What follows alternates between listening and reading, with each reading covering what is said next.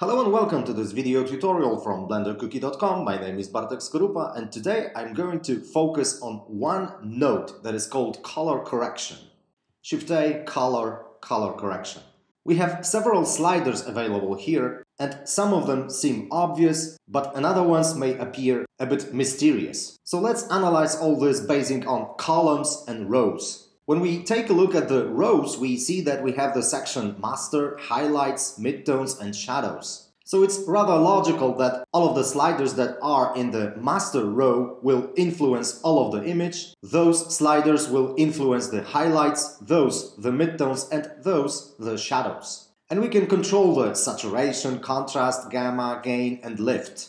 As you can see, we can influence the red channel of the image, green channel of the image, or the blue channel of the image, and by default, all of the channels here are activated. Okay, so before we begin to control highlights, midtones, and shadows independently, let's try to understand what those terms mean and what they do. And I will analyze them using the master sliders. Saturation seems obvious. When we increase this value, we simply boost the saturation. When we decrease it, our image becomes less saturated. Contrast is also rather intuitive. When we increase it, our image becomes more contrasty. When we decrease it, it begins to be a little bit washed out.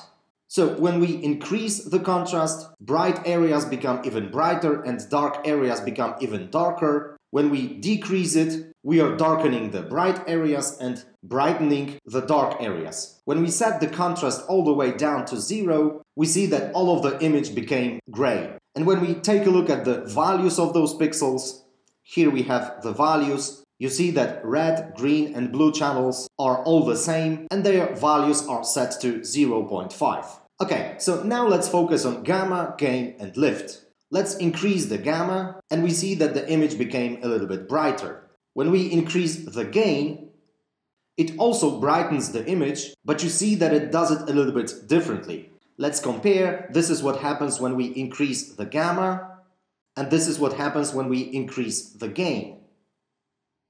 Lift value also increases the brightness of the image, but in a complete different manner than the gamma and gain.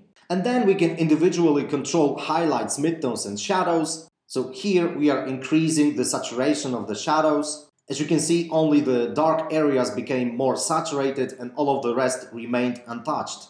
Let's now decrease the contrast of the midtones or darken the highlights using one of those three sliders. But which one to choose? Most of the artists use the trial and error method, so they simply move the sliders left and right and see if they like the result. So, okay, let's set it to this value, this one to this value or something else, and let's move this one left, right.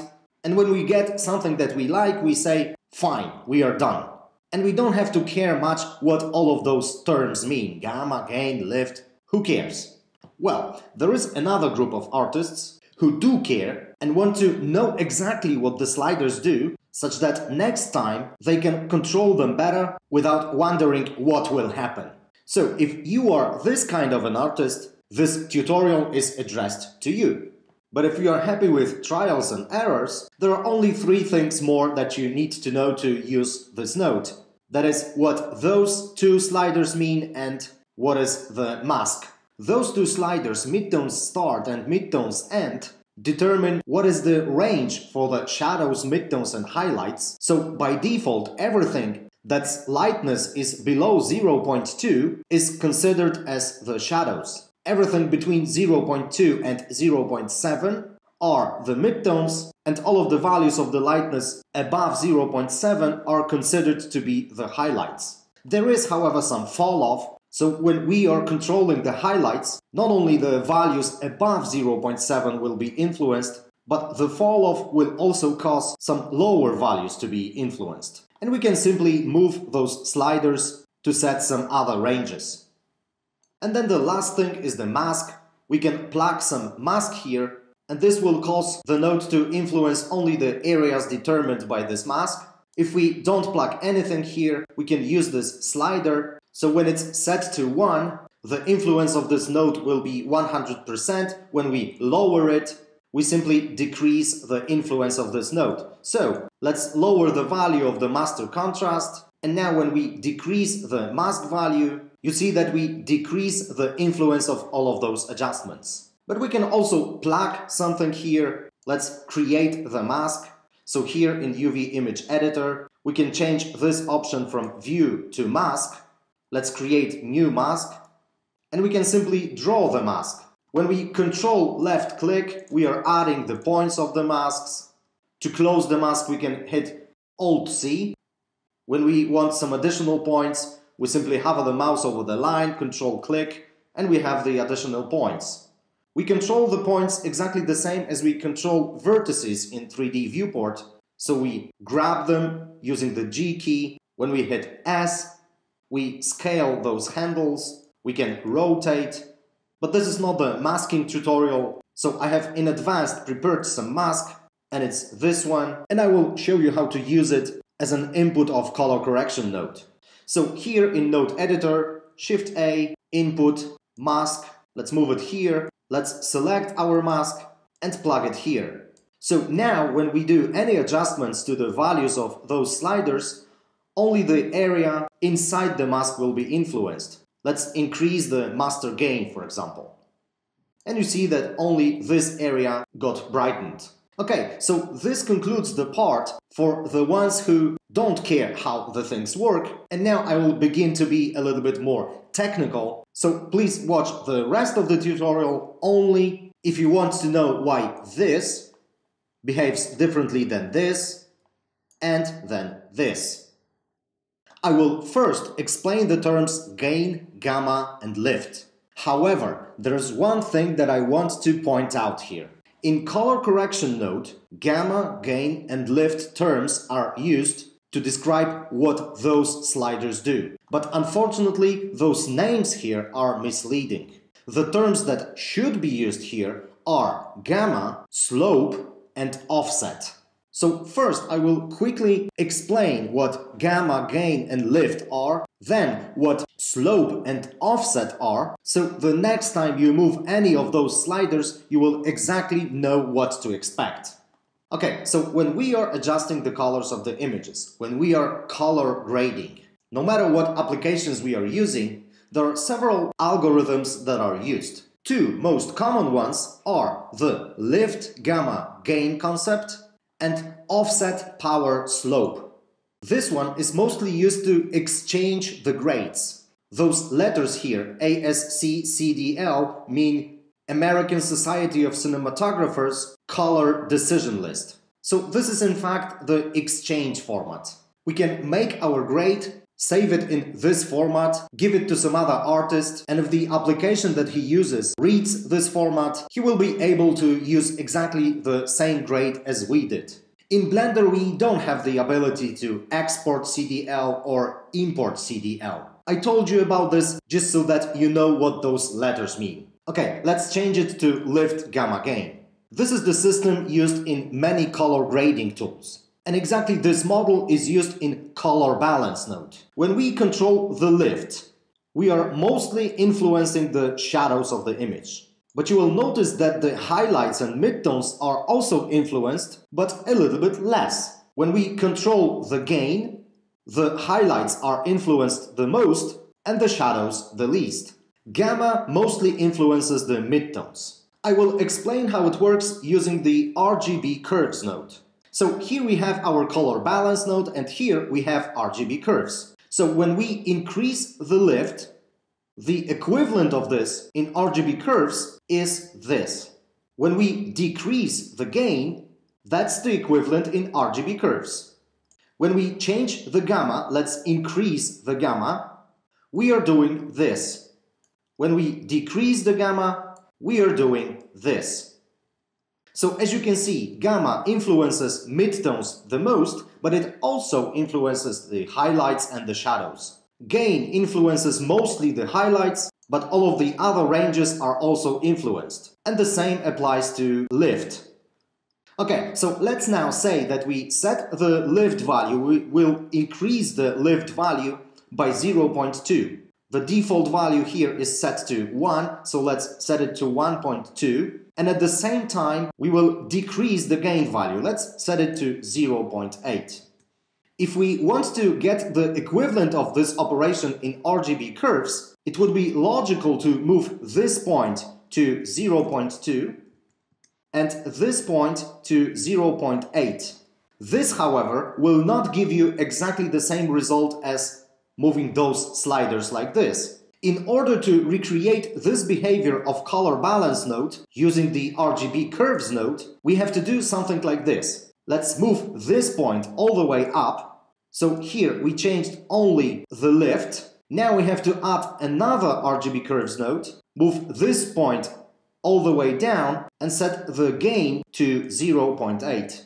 And this way we should get exactly the same result as we have here. But as you can see, we have differences. The differences come from the fact that this model that I am showing you right now is a little bit simplified. Here, not only those operations occur, but also some translations between the color models. Here, we are working on the linear color values. And here, some additional calculations are made such that this node mimics better the behavior of similar color wheels in color grading applications that don't work in linear color space but in other color spaces. But I will not go much deeper into it. This is all related to color management issues. So let's forget about all those differences and simply analyze this simplified model. The purpose of this is to understand what's going on without introducing too many terms. Okay, so here we have two RGB curves node. This one is responsible for lift, this one for gain. Let's add another one and here we will control the gamma.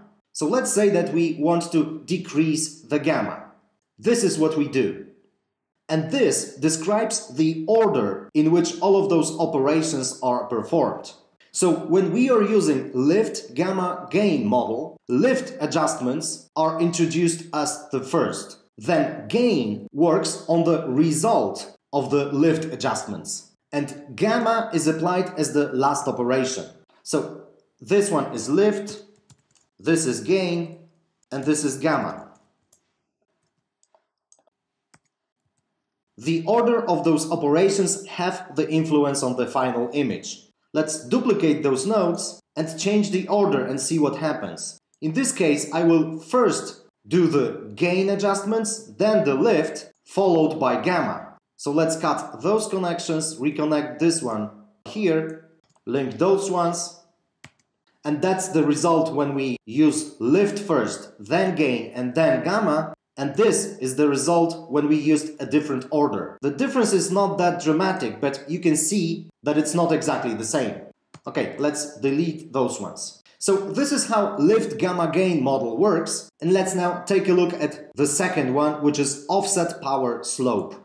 I have reset all of those values to default value of 1. So when we use the lift gamma gain model, here we see exactly the same image as the original. Now, when we change this model to offset power slope, whoops, something weird has happened. And this is only because the offset value should be set to zero, and those are the values that don't change the original image. As you can see, the names here changed.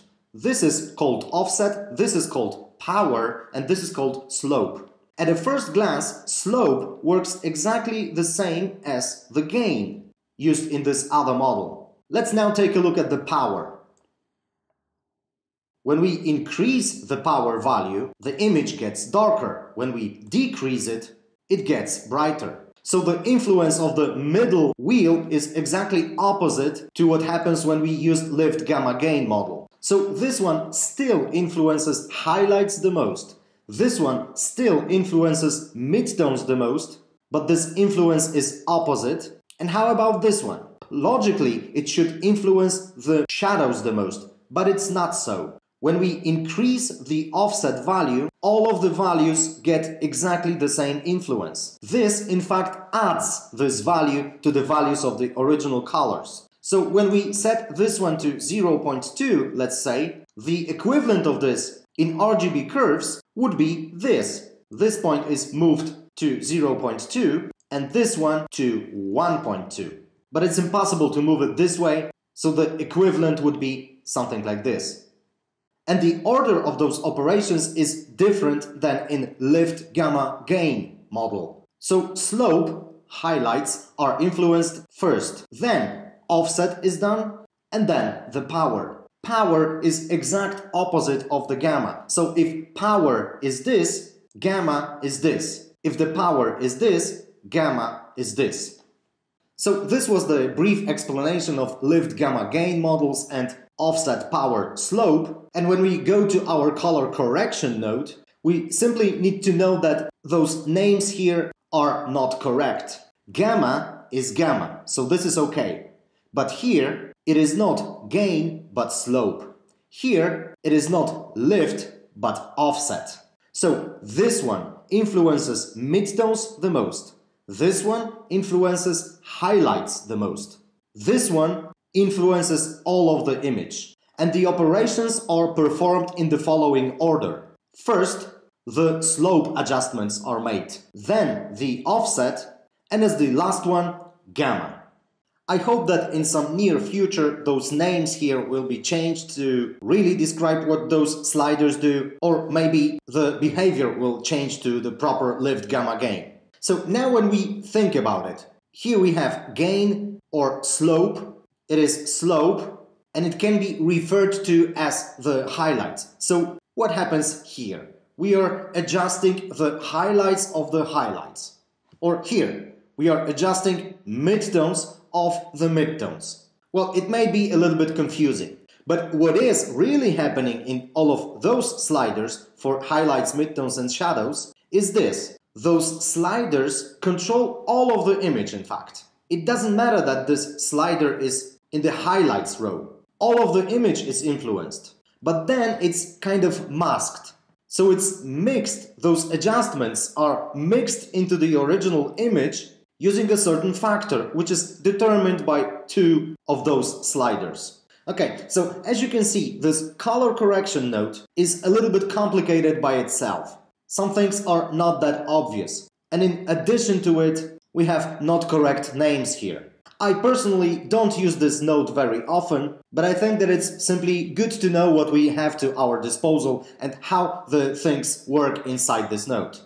Now, the ranges here. Even if we, for example, decide to use only the red channel, so let's disable green and blue, the ranges here are based on the lightness of the whole image not on the lightness of the red channel in this case. So this is just something to be aware of. And those values are the values of the lightness. When we take a look at any color, let's add the RGB input node. Here we can use RGB or HSV, which is hue saturation value. It's good to be aware that value is something different than the lightness. And here, not values are used, but lightness. But I will not go deeper into it. I explain in details what is the difference between the value, lightness, luminance, brightness in one of the episodes of Compositing in Blender DVD series available here on CG Cookie. So that would be all in this video. I hope I didn't make things too complicated and you will find at least some of the informations here useful. Thank you very much, Bartek Skorupa for BlenderCookie.com. Take care and see you next time.